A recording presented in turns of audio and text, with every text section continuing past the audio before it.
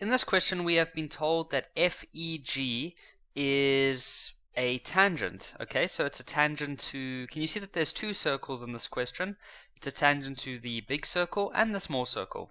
Now, they tell us that they show by these arrows that those two sides are parallel. And so the first question says prove that BC is parallel to AD. That's what we've got to prove first. Now remember, whenever they talk about parallel lines, you should always think of the word fun. These are the three letters that should click in your mind as soon as you think of parallel lines. So we're going to have to find one of those to somehow prove that those two lines are parallel. So what we could do first is have a look at this shape over here. And so that would mean that angle E1 is equal to 40 degrees. Can you see the Z or the N? Because those two lines are parallel, we can form a Z over there. And so the reason for that is going to be alternating angles, so alt angles.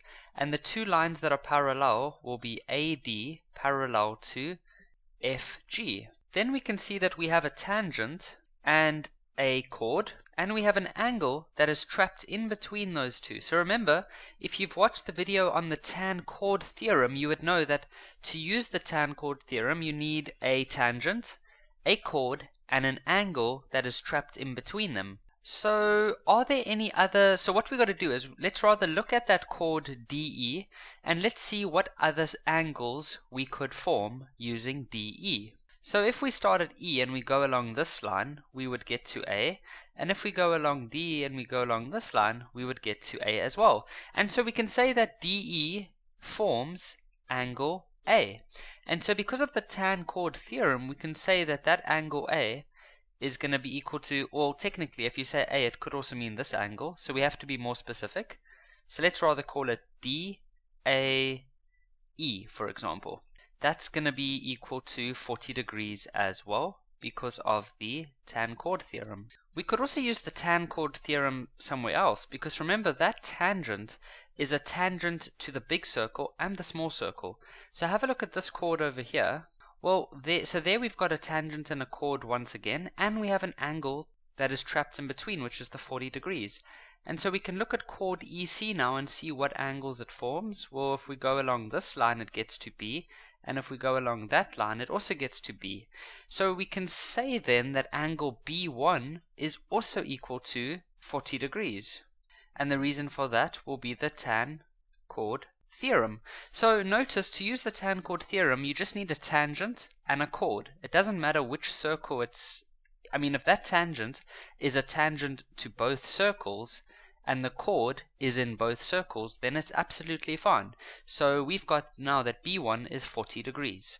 And so now have a look at these two lines. We have just proved that these two angles are 40 degrees, and so we can see there's that F kind of shape forming over there. It's a backwards F, but as long as you have parallel, or as long as you can form this kind of shape over here, then we call that corresponding angles. Now, normally they would tell us that the lines are parallel, and then we could say that those two angles are equal. But what we have just proved is that those two angles are equal. See, they're both 40, which means that the two lines are parallel. So we can say that AD is parallel to BC, and the reason for that is converse. Remember, converse means the other way around. Converse of corresponding angles corresponding angles. Because normally, as we've just said, normally they would tell you that these lines are parallel, and then you would be able to say that those two angles are equal. However, in this example, we first showed that these two angles are equal, and so because of that, the two lines must be parallel. The last question is to work out the angle of H. Well, what I want to do first is look at this triangle over here, and we can easily work out angle E2 because we have that the top corner angles are both 40 degrees and we know that all three angles in a triangle should add up to 180. So we can say 180 minus 40 minus 40. Why? Because of the sum of angles in a triangle. And so that means that angle E2 is going to be 100 degrees. Now if you look in this shape over here, we know that that is called a cyclic quadrilateral because it's a four-sided shape that touches the circle in four of its at four of its corners And so we know that H and E2, well, they are opposite of each other, and the opposite angles of a cyclic quadrilateral are supplementary, which means that they add up to 180.